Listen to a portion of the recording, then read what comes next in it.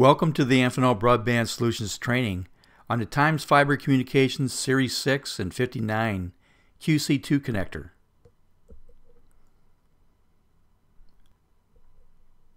In this training, we'll provide a QC2 connector overview, explain the QC2 connector features and benefits, look at the prep tools required for cable preparation and connector installation, show how to prepare the cable, and show how to install the QC2 connector.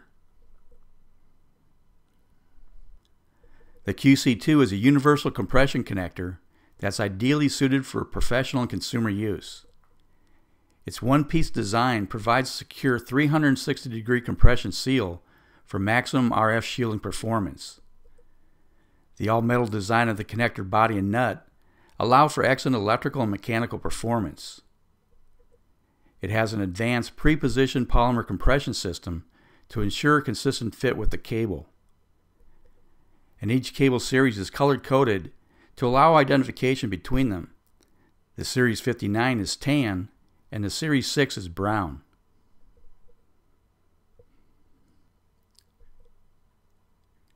It's a one-piece all-metal design which provides shielding down to minus 120 dB at cable TV frequencies.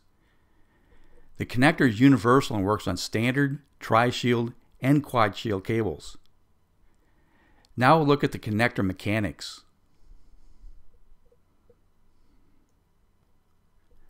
The connector has an externally mounted continuous ground member which eliminates costly service calls due to issues such as digital tiling and pixelation, which are typically caused by loose connectors.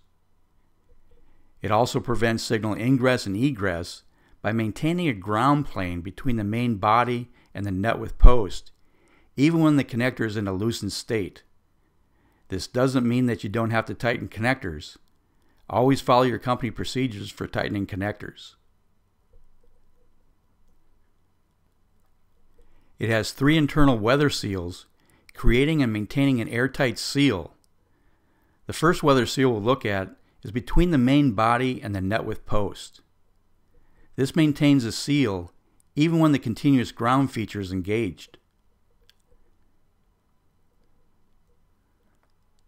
Next is the seal on the compression sleeve. This maintains an airtight seal once the sleeve is compressed. The nut weather seal maintains an airtight seal once the connector is tightened to the F port.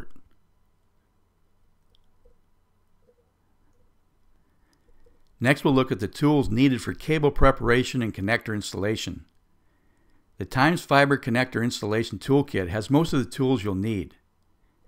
Nitrile rubber gloves, compression tool, cable prep tool, and cable cutters. You'll also need a 7 16 inch wrench, preferably a preset torque wrench. And a braid brush is useful as well. Now we're ready to prep the cable. Using the cutting tool provided by Times Fiber or a diagonal pliers, be sure you have a straight, clean cut. Place the cable with the end cut straight into the prep tool until the cable hits the cable stop to ensure 5 16 by 1 4 inch dimensions are achieved. If the cable end is angled, you won't get the proper 5 16 inch length for the center conductor. Never break off the cable stop or the center conductor may be the wrong length.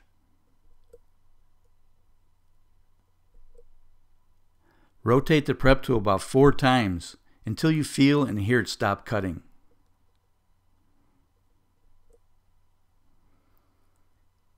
Pinch the end of the prep tool and pull it straight off the end of the cable.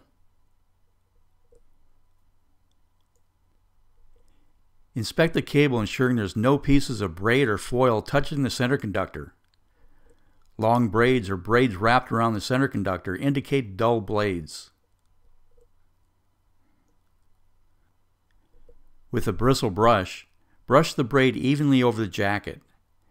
Don't use bare hands as the oils and salts that are on your skin will get on the braid and foil and could cause them to corrode.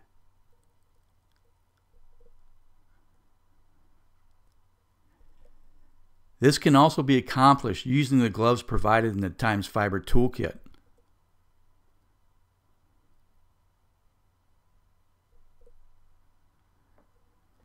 Inspect the braid fold back, ensuring it's even around the cable. By using the proper prep tool and folding the braid back properly, the center conductor will be 5 16ths of an inch with a tolerance of plus or minus 1 32nds of an inch. The exposed foil will be a quarter of an inch, and the braid will be folded back uniformly around the cable jacket.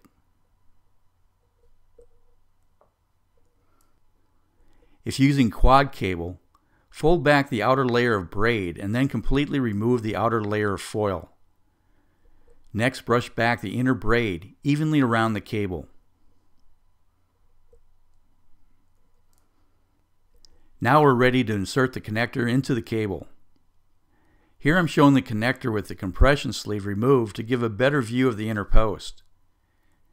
The inner post of the connector slides over the inner layer foil between the foil and inner layer braid.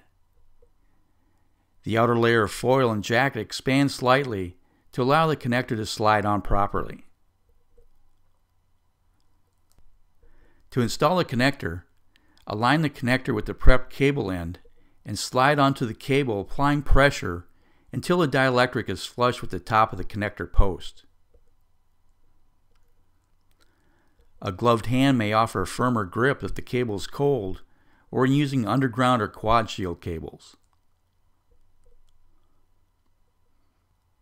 For quad shield cables or other tough cables, it may make connector installation easier to separate the compression sleeve from the connector body. This may also make it easier to align the connector to the cable as it eliminates a blind entry.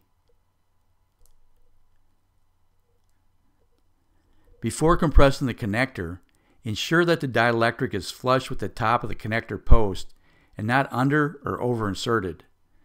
Under or over inserting will change the 75 ohm impedance of the connector and can cause signal impairments. Now we're ready to compress the connector. Seat the connector and cable into the compression tool and compress fully.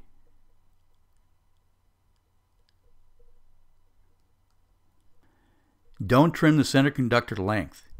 If the prep tool is used properly, it will set the center conductor length correctly at 5 16ths of an inch. A properly prepped cable and connector installation will ensure good weather seal and electrical performance. This cutaway of the connector shows the weather seals, continuous ground member, and the compression fit of the connector to the cable braid and foil.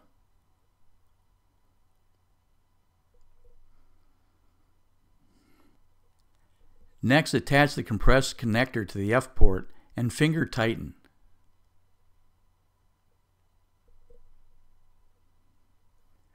Using an approved torque wrench, slowly tighten the connector until the recommended torque is reached.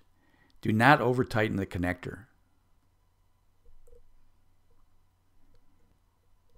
Let's review what we've covered in this training session on the QC2 connector. I provided an overview of the QC2 connector and showed the QC2 connector features and benefits, such as the triple weather seals and continuous ground. We looked at the tools required for prepping and installing a connector, and I showed the proper cable preparation steps, and showed how to successfully install the QC2 connector onto the cable.